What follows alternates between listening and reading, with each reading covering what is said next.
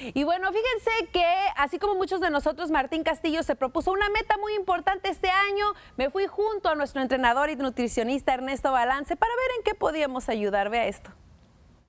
Ernesto Balance y yo nos trasladamos hasta la casa de Martín Castillo para inspeccionar su refrigerador y ver si necesitaba algún consejo en cuanto a su nutrición. según Martín Castillo, uno de sus propósitos de año nuevo fue perder 40 libras y al parecer ya empezó con manos a la obra con el gimnasio, nos decías, y ya tienes supuestamente puras cosas saludables en el refri. Así es, así es que no creo que haya algo malo ahí, pero pues vamos a ver, ya ve que de repente son medio delicados los entrenadores, ¿no?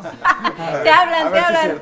Vamos a ver entonces si es cierto. Tú dinos, Ernesto, qué está bien y qué está bueno, mal. Este es un megabote de mantequilla. Y luego, luego Hay de que entrada. tener cuidado con eso. Pero tenemos que comer, eso es Tenemos lo que también da sabor a la aderezos un poquito pesaditos. Ajá. Los jugos, estos tipos de jugo es mucho azúcar, entonces eso te va a dar muchísimas calorías, ten cuidado con ello. Por ejemplo, ¿qué le recomendarías tomar en vez de ese jugo? Pues sí, si te gustan los jugos, irte por jugos naturales. Veo que si tienes fruta, eso me da mucho gusto, entonces hacer tus jugos naturales, porque estos ya empacados muchas veces ya es mucho azúcar y habría que evitarlo. Las cremas, también cuidado con las cremas. Todas las cremas y los quesos son muy calóricos. Veo que aquí también tienes quesos amarillos, que no es de lo más saludable, entonces cuidado con eso.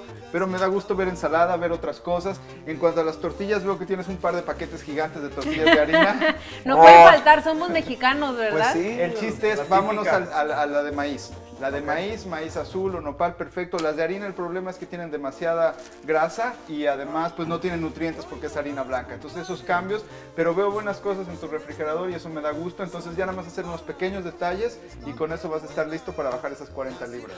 ¿Qué es lo que más te gustaba comer que ya no vas a, que ya no vemos aquí en el refri, por ejemplo? Mm, antes tenía mucho pizza, me encanta la pizza.